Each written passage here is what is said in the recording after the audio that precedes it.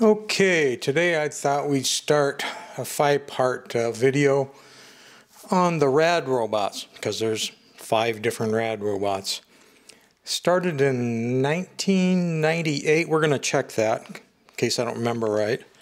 And the camera is going to be a long ways away from me. Let me see if I can get this where I might be able to see the viewfinder and what I'm doing. So this one down here, crawling around on my hands and knees in the freezing cold, just for you guys. This is uh, Rad number one, the first one they made, and they didn't call it Rad one because I don't think they knew they were going to be making more at that point. 1998 Toymax.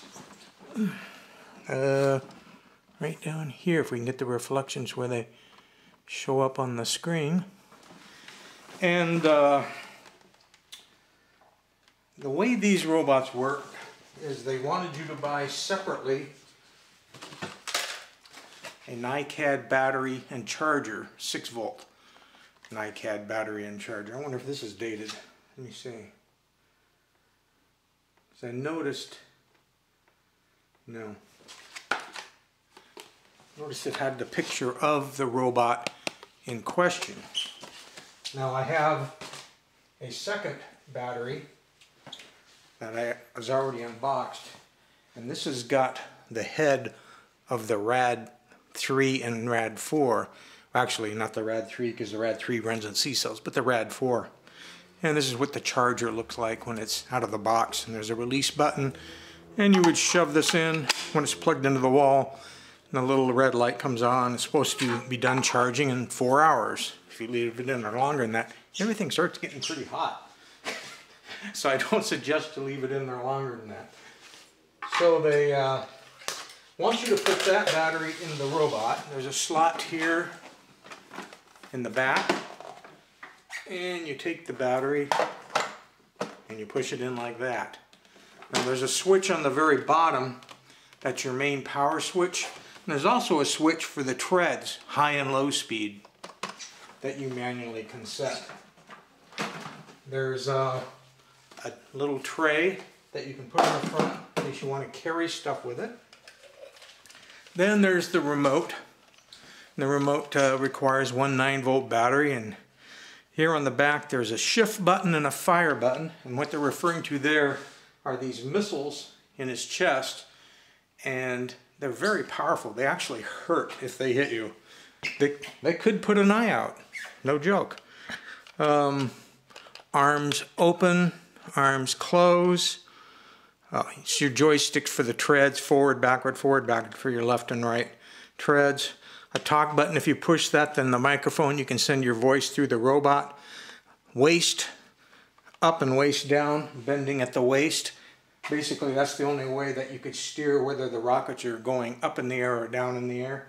Of course, you use your treads to uh, drive everything else around. And let's see, before we turn it on, Here's some of the paperwork that comes with it.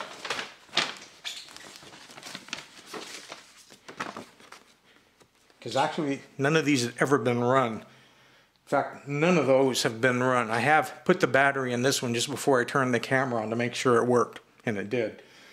We're going to be exploring all these together. I'm not going to bother to pre-test the others. We'll just find out whether they work after whatever it's been, 24 years, I guess, on, on this one. So you get kind of a warranty card kind of a thing and a, that you can mail back in. Had a 90 day warranty at the time. Um, a special thing that, hey, if you're having trouble, call this number, don't return it to the store.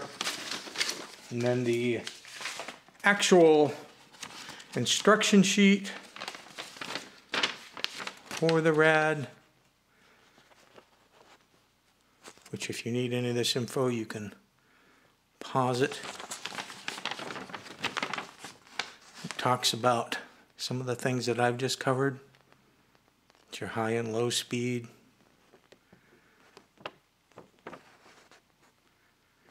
And over on this side, of course, we're talking about the remote. Troubleshooting guide, I guess. And the back shows it has an accessory drawer, uh, the handle on the back of the head for picking it up and carrying it. And all that good stuff.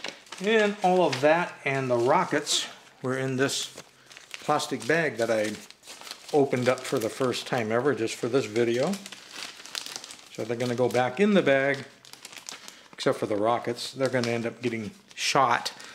And uh, hopefully I'll find where they go because they have some wicked powerful springs behind those uh, Nerf type rockets. They really, they really go. I don't know whether we should uh, look at the box. We'll look at the box after we've played with the robot. So first thing I'm going to do is I'm going to turn the uh, transmitter switch on. It has a little switch there. There's no LEDs on it to tell you whether it's on or not. And then on the bottom of the robot, there's that switch I told you about. Let's hit that.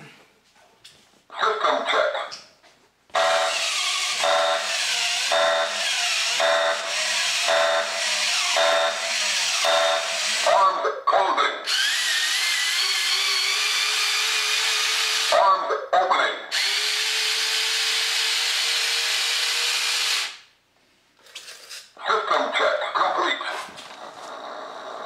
That was the system check. Picking up some audio static. Let's try pushing the talk button. Test, test. Test, test, test. One, two, testing, one, two. Okay, that's there. Um, what, what else? Let's um, waist up, waist down. Turn the weight down. Let's back the robot up a little so he's more completely in the picture. Like that. Then let's um, let's fire. And I should be standing where they'll hit me so I don't have to chase them. Ooh, baby.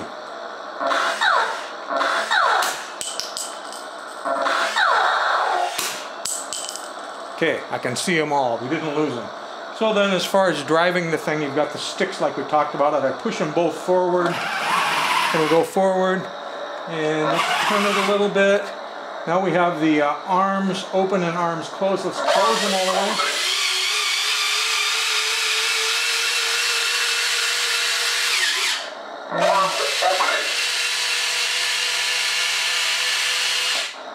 And arms up and down. We're here somewhere. Oh, that's the body up and down. That's right. Well, we kind of already did that. Let's see how far down it goes.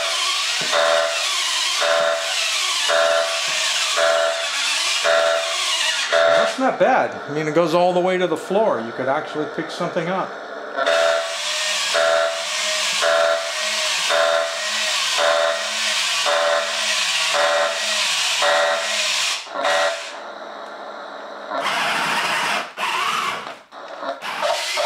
Closing.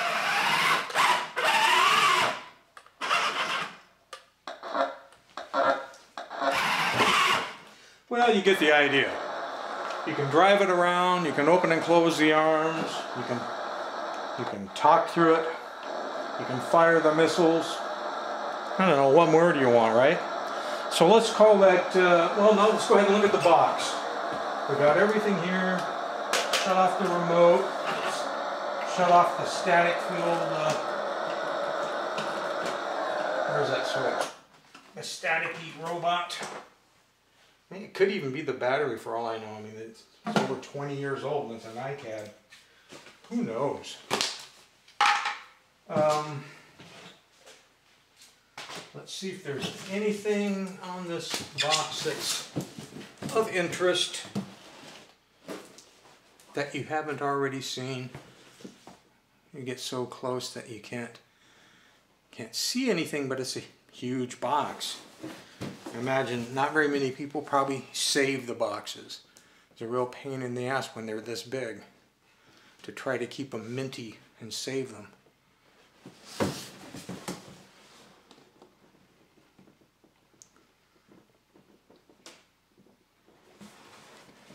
Okay, I think we've been around the box. Let's take, this is the top of the box.